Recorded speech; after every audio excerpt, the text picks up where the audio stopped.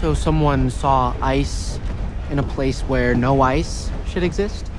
Most people would call that unusual, wouldn't they? Lieutenant Jee? Unless they were an idiot.